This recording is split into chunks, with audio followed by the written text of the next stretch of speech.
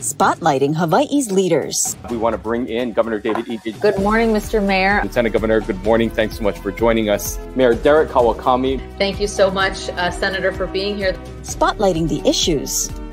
Where is the virus right now in our community? How much is this overall going to cost the state? How are you responding to the community's concerns? Talk about the level of citations that you guys are writing. Spotlight Hawaii with Yunji de Nies and Ryan Kalei Tsuji on the digital platforms of the Honolulu Star Advertiser.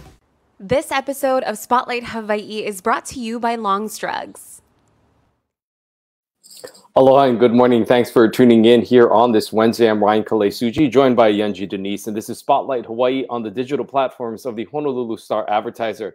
This morning, we continue to spotlight the upcoming election, and with just a few days away, we wanted to spotlight some of the candidates uh, on the Democratic ticket who are running for governor, and we've invited them back on the show one final time to have a conversation with you, the viewers. That's right. And we invited the Democratic candidates, the leading Democrats, for uh, one show apiece. Uh, Lieutenant Governor Josh Green was to be with us last Friday, but uh, after initially agreeing, his campaign cited a scheduling conflict, and so he declined to participate. Uh, Kai Kahele joined us, Congressman, on Monday, so you can go back and watch that. And this morning, we are welcoming businesswoman Vicky Cayetano, of course, Hawaii's former First Lady. Thank you so much for being here. Thank you for having me. I appreciate it. Well, it's lovely to see you, and we'd love to hear about what these last few weeks have been. You are in the home stretch right now. What is the final push from the Cayetano campaign looking like? Well, it's continuing to get our message out, which is really important. You know, from the beginning, my campaign has been about bringing real change to tackle these long-standing problems that we keep talking about, bringing some practical, common sense experience, uh, solutions, you know, to all these issues. So it's been a very busy time. So thankful to have our very dedicated and committed group of supporters and volunteers sign waving and uh, just being at any and every forum or debate that's available. Now, that's the heart of it is getting our message out to all the people on every island. Um, that's been my whole focus with just three days away, is there any specific strategy that the campaign is going after? Any groups of people that you obviously are tar- targeting? Being that this is a mail in election, many have already casted their ballots and already mailed them in. What is the strategy in these last three days to target uh, different groups of people? You know, campaigns today are very different from what they used to be. And I think one of the things we do know is that it's truly rather unpredictable and uncertain. You never know. So for our campaign, it's just about getting the message out to as many people as we can across all demographics on all islands. And that reflects how I would govern if I have the privilege, you know, to be governor is to get out to all the people, all islands, across all demographics. And that's what we're doing in these final days of our campaign. Uh, your campaign issued a release yesterday calling for the elimination of income tax for a certain sector of the population. Can you tell us a little bit more about that? How would it affect the individuals that you're hoping to give some tax relief to, and what that would also mean for the overall state budget? So, you know, in talking to people on neighbor islands and here on Oahu, the biggest concern is the cost of living. And as you know, recently there was an announcement from HECO about their projected increase as more due to a number of things that's not been controllable. Uh, but the average resident now is going to pay more in our utility costs. So, thinking about that, seeing the surging costs, whether you're shopping for groceries, whatever it is, how do our people, especially our middle class working people who continue to leave our state, you know, five years in a row, you've heard me say this, we are one of the few states that has the terrible distinction of a decreasing population. And the people leaving us are working class, our middle class. So, how do we bring them immediate relief? So, hence came the idea of how, how we can address this is by eliminating the state income tax on earnings of $50,000 and less. Let me just share with you the direct impact specifically to, to these people in that air, in that uh, category. It translates roughly to 20 days or almost one month of pay that would go directly into their pocketbook. So $3,200 per year. If somebody is making uh, 50,000 or under, comes up to about $20 an hour, translates to one month of additional compensation that goes straight to them. And it's not waiting till they file their tax return. It's something that they would realize as soon as that can be implemented. So I would work diligently with the legislature and the new administration to be able to make this happen immediately. Um, I can't tell you what a game changer that would be. And I think it would also help to attract people back into the workforce uh, because of the significant uh, impact it would have on them. When talking about that, that's obviously going to impact the overall state budget as well, having these individuals not necessarily pay and contribute into the overall state fund and what is generated through tax revenue. How do you think that will impact the state budget? And would there have to be any changes that ha- would have to be made to the overall operating budget to accommodate something like that? So currently, we do have such a surplus that we have a little bit of time to look into this. But you know, for me, the biggest thing is that we need to take care of the people who need it most immediately. Uh, we could look at the general excise tax. You know, one of the thoughts is to uh, consider an increase on the GET, a slight increase, because uh, the fact of the matter is that about 30% of the GE revenue comes from visitors, our tourists who come here. They pay that also. So that could be one possibility, a slight increase to that. And at the end of the day, also um, give a waiver, a moratorium, which I have already called for on food and over the counter drugs to offset that. So at the end of the day, it would be the intent would be to be net neutral to the state budget, but most of all, being able to help the people who need it and the people that we want to keep here in Hawaii. $3,200 goes straight into their pocketbook. I mean, I know we talk about a rebate this year of 300, but when you think about it, considering the high cost of living and ever surging increases, we have to do more. And this is a solution that's win-win and it doesn't cost employers anything, but I really think it would have a huge impact to the middle class, the working people. I want to ask you, you know, as we did say off the start, you are in the home stretch right now. There have been a number of forums with your opponents, a number of televised debates, and then, of course, different uh, community resources have had their own forums. So people have generally, if they want to engage, have had an opportunity to see you. What do you feel hasn't been asked or addressed in any of these forums? What do you wish that people knew about you and your candidacy that perhaps they haven't seen in some of these forums? I wish that, uh, you know, in these forums, it's never long enough, and the questions are usually cut to like a minute or a minute and a half response. But I think I would like people to see that, you know, we need to all work together. That business, some people think that business is a bad word. But the fact is, if you don't have businesses, you don't have jobs. And so it's a marriage that has to be one without the other is not going to produce success. And I think for most businesses, especially the small business community that are local and family owned, uh, we are the job creators. And without business, you have no economy.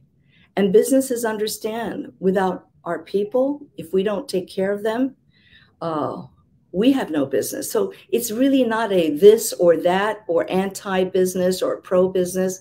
It's really all of us coming together. That's the only way we can dig out of the challenge, the problems that we are facing. And uh, that's what I feel I bring to the table is 34 years of leading businesses, not only through the COVID pandemic, but through multiple challenges over 34 years that we've had. And, uh, you know, I always say that the tests of good management, good leadership is not when things are going well it's when things are going badly. And how you survive and come out of it, that's how you can tell if you've been a good leader or not. You know, something pretty rare that we saw a few weeks back is when you and your opponent, Congressman Kai Kahele, held a joint press conference uh, bringing up some questions about the lieutenant governor, his financing, and raising some other questions into his campaigns. Why did you feel that was important to have that joint press conference together with one of your opponents? And do you feel like some of those questions that you folks raised have been addressed? I appreciate that question. You know, I will tell you that when you aspire to the highest office in the state, you need to be vetted thoroughly. The people deserve no less than that. And there is such a difference between negative campaigning and factual reporting. So, just as I vet people who come to work for us, think about the taxpayers. And with all these years that we've seen now of corruption in politics, you know, it really shows us that we have to do a better job. So while the congressman and I may disagree on a number of things, one thing we're both in agreement with is being an open book, being transparent. You need to do that because that the people of Hawaii deserve nothing less. And I am sorry, but the fact is is that the lieutenant governor continues to not disclose the sources in his LLC. And I'm just going to say it like it is, okay? The fact is that he has made over a million dollars outside of being lieutenant governor while he was lieutenant governor. And if you're working part time as a doctor, by his own words, twice a month in a rural hospital, it's hard to understand how you can make that kind of pay. Uh, I got to tell you, on a separate note, I've been looking at independent physicians because so many of them are leaving, retiring, and we're looking at how do we keep them because you can't just have corporate healthcare model. You must also have the independent physician. One independent physician working full time based on the insurance cap or reimbursement made only $97,000. 97,000 working full time. This is in Honolulu, not in a rural hospital. So it does beg the question. And, and I think that people are either naive or are frankly ignorant if they feel that this is smearing. It's not smearing when you ask the right questions, questions that people deserve to have answered. We should expect nothing less want to get uh, your thoughts on some of the issues that you might have to manage if you were to get to this position. Uh, one of them, of course, being the stadium and how that build. Uh, we know that uh, the legislature allocated quite a bit of money to that project and that it is seeming to move forward. Do you support building a, a stadium on that site, or are you more inclined uh, to agree with the congressman who says that that should be devoted solely to housing? I believe that if we say affordable housing is our priority, then that's what should take place. I would not close my mind to a stadium, though I think that affordable housing is more important and should be there. But I will tell you what my more urgent priority is. I want to make sure that the whole process in managing this project of 350 to 400 million dollars is transparent, has accountability, and moves with urgency. What we don't want is another rail debacle because this is taxpayer money and we need to make sure that we're diligent about how it's spent. Uh, I also think it's really important that uh, we get the community involved, uh, the people in that area, so that if there's any opposition, I would rather deal with it early on than later. We need to face that and have those conversations.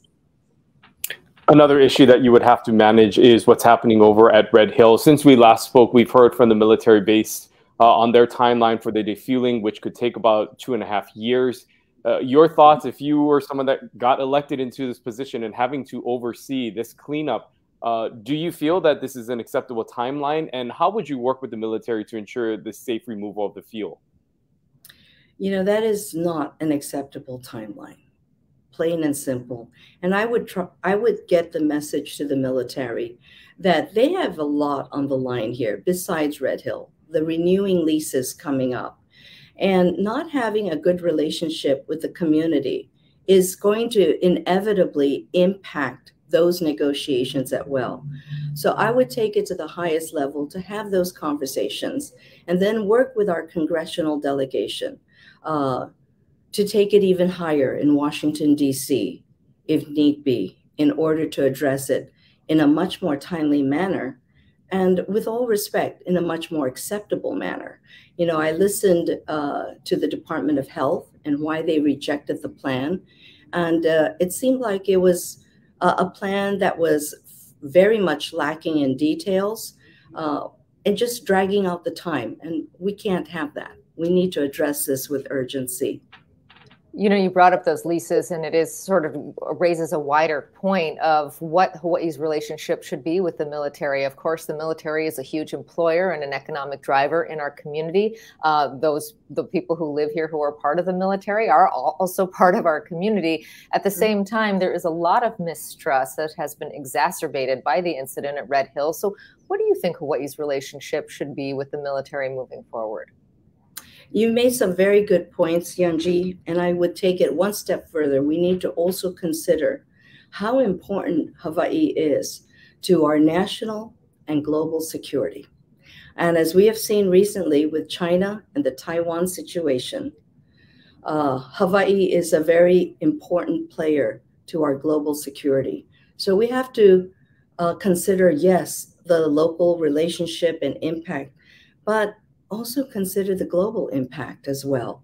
Uh, but again, I think that communication, uh, candid communication, is very important, relationships to build. And I think we must make sure that the military understands that while their presence is very key to Hawaii, um, we also recognize how important we are to them. And so, once again, a marriage where the power has to be balanced fairly you know, throughout this campaign and really just even today as we had this discussion, you, know, you're talking a lot about leadership style. One of the things that your opponents have sort of targeted you and attacked you on in a few of the debates is your lack of experience uh, holding a leadership position in government, uh, having, of course, the lieutenant governor seated in the office that he is, and Congressman Kahele serving both uh, in Washington, D.C., as well as here locally. Uh, how do you respond to those critics who say that a businesswoman like you may not be suited to take on the duties of the fifth floor of the state capitol? Well, I would ask my opponents and say that I don't think they have leadership experience. When you are one of 535 or one of 76, it is very different than carrying the weight of building a business, starting it, and then maintaining it, taking care of all your people, uh, balancing the budget, uh, making payroll that's the kind of executive being a CEO requires. And so I turn that around and say respectfully that they don't have that kind of leadership experience, especially one that uh, is needed in these challenging times. You know, there's a lot of money that's going to come from federal funding, uh, and we need to make sure that we manage them with transparency and accountability for the people of Hawaii. Uh, you have read so much about corruption or misspent money. I mean, just even two months ago, I read about $22.5 million worth of COVID test kits that were just thrown out because they had expired. $22.5 million. How can that be? Uh, and then the second thing, frankly, is once those federal funds dry up, um, you know, we have to be concerned about a looming recession possibly 2023, end of 2023, 2024. So having that kind of foresight and proactive approach to me is very key for the next governor of Hawaii campaign finance has come up a lot in this race. Uh, the three campaigns, uh, the three leading Democratic campaigns, have really taken different approaches when it comes to how to raise money for these for for their candidacies. I'm interested to know. You know, you've lent your campaign a significant amount of money. Why did you decide to make that investment? Well, you know, Yunji, being a first time candidate, we don't have the kind of pipeline that politicians build up over time. Uh, for me, it's an investment into the state of Hawaii. You know, we have always uh, been very uh, philanthropic and giving to our community. And to me, it's a good investment into Hawaii. I believe that it's Hawaii now needs leadership more than ever. And uh, I also feel, frankly, it's a real advantage in the sense that I don't owe anybody anything. I'm not beholden to any special interest group. So I can get to work for the people, the majority, the silent majority who's been so overlooked, frankly. You know, that's who I'm fighting for. And so I'm happy to do this. And I think, frankly, the message is uh, I'm very committed.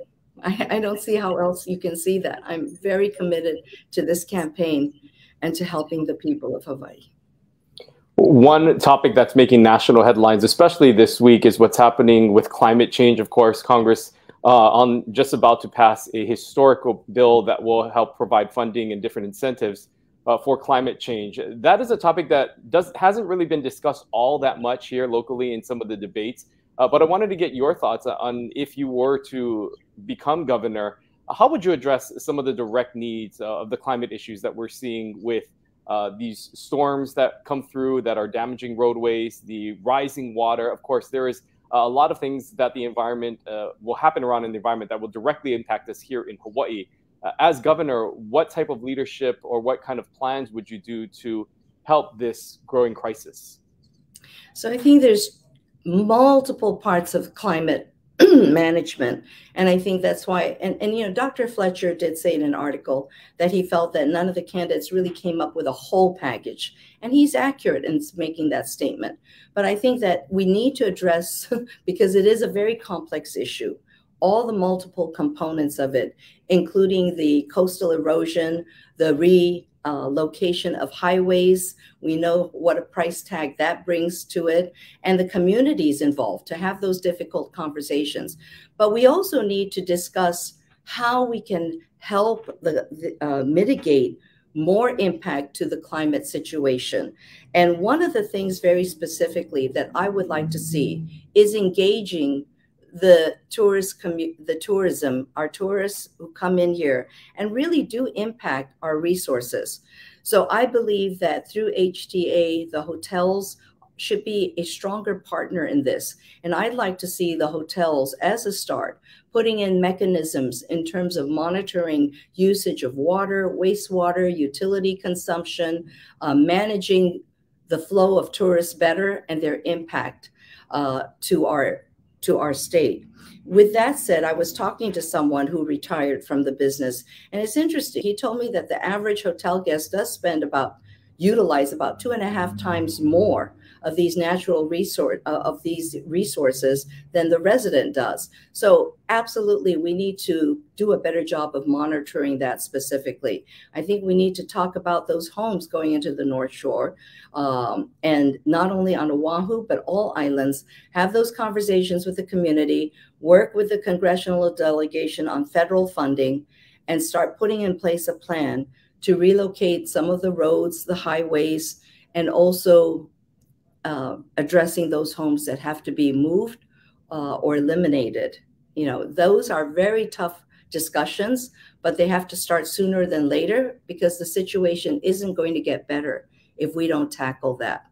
Then we have to look at uh, greenhouse gas emissions. You know, transportation is responsible for about 25% of our emissions. So trucks, uh, cars, vehicles, all of that has to be discussed. The practicality of making everything into electric vehicles. Um, it's a good goal, but how are we going to do that? Are we going to have enough charging stations? Do we have, have enough power to fuel all those charging, to power those charging stations? Condominiums, homes. How do we incentivize people to get into electric vehicles? There's a cost to everything. And we need to address that so that we can start transitioning from just policy to being able to implement. But it is a lot that we need to do. We are almost out of time, but I'm interested to get your thoughts on the campaign trail. I'm, you know, I think that as someone who is running for public office, you have the opportunity of meeting so many different kinds of people and having so many unique interactions. I'm just interested to know about what your sort of, you know, the, some memorable moments from you about these interactions, what you've come to enjoy about meeting people, and and what you're hearing from the so-called silent majority that you referenced just now.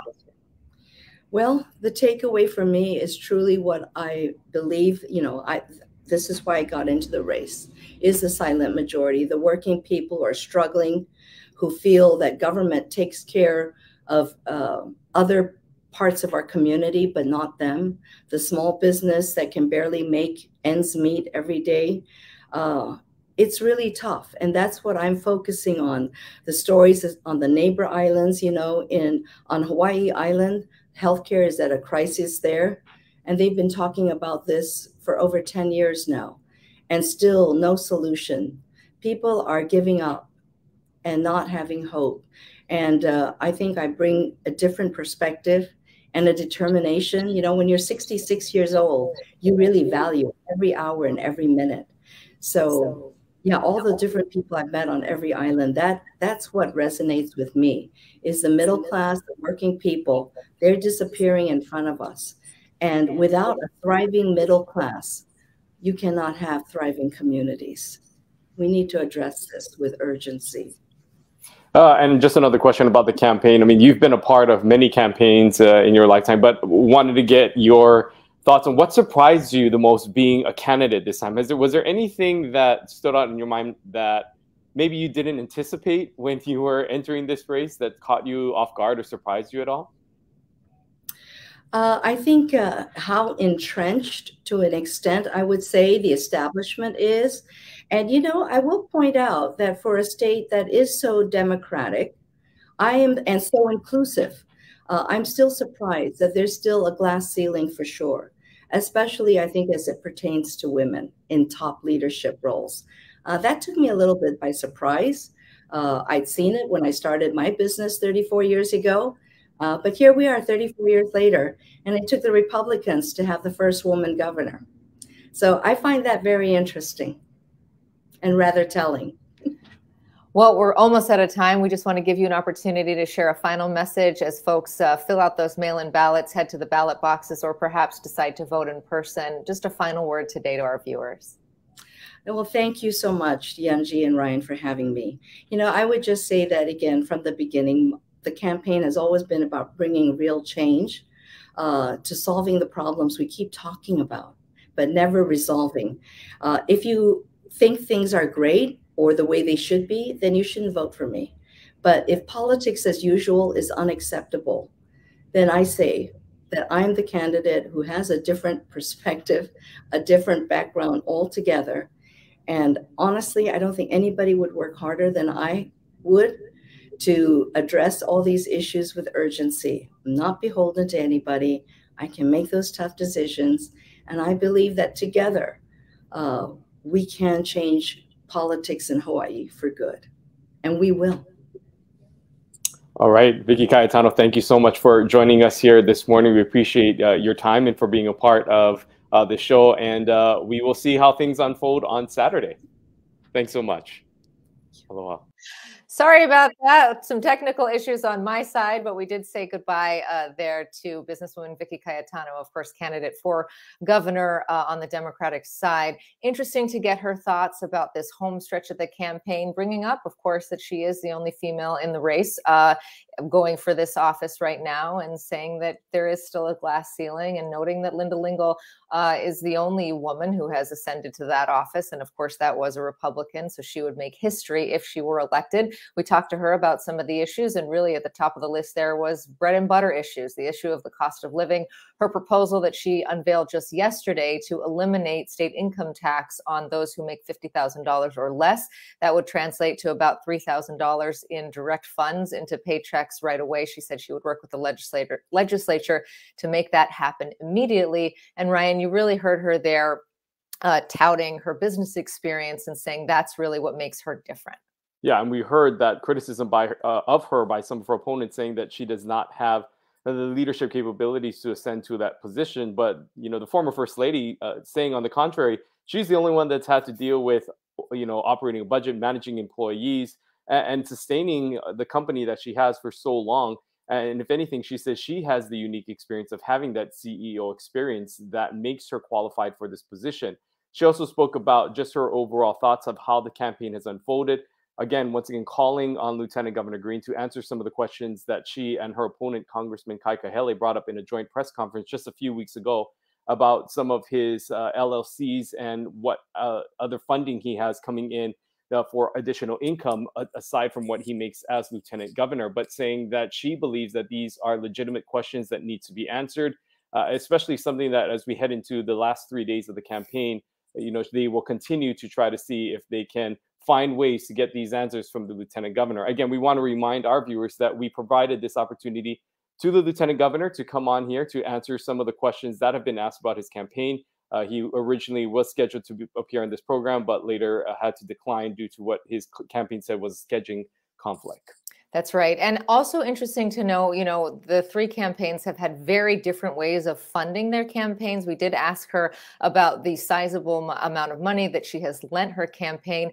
And you heard her say that she really sees that as an investment, that to her, Hawaii is worth that investment, and that it actually, she thinks, gives her a leg up because it makes her not beholden to any donors. So interesting to hear her take on that. If you missed any part of this, remember you can always listen to this later as a podcast or watch again via the Star Advertisers website uh, or here on Facebook once we stop the live stream. But very interesting to hear. Uh, we are down to the wire now, Ryan. I know I sent in my ballot. I'm assuming you sent in yours, and uh, ver- will be very interesting to see the results come Saturday. Yeah, a lot of campaigns, of course, just working hard in these final days. And it's not only this race, obviously, that's drawing a lot of attention. The lieutenant governor's race, uh, the race for Congress, a bunch of uh, city council races also up for grabs it is going to be a very exciting Saturday night for those who follow politics. Yeah, for, for, for political nerds like us, we are looking yeah. forward to Saturday night. Uh, on Friday, here we're switching away from politics uh, for a bit to talk to the city's Department of Transportation directors. Uh, we are interested to hear from them about the efforts they are making to try to increase ridership, which fell dramatically during the pandemic. Of course, they're trying to build back that ridership base. Also, you know, we've talked a lot on this program about how a portion of the rail is set to be turned over to the city this fall. The folks that run the bus will also be running uh, the ridership for the rail. So they are now working on the uh, dynamics of that. Uh, they obviously need to do a lot of hiring, a lot of training, but with the deadline for that turning over in flux, the mayor now saying it could be the end of the calendar year. He doesn't necessarily expect it as early as October, which is what Lori Kahikina had been aiming for. Um, how do you stand up an agency? and make all those hires and hires in this climate. So we'll be covering that, the the bus ridership, and of course the rail ridership as well. Join us for that conversation right here on Friday. We'll see you then. Aloha. This episode of Spotlight Hawaii is brought to you by Long's Drugs.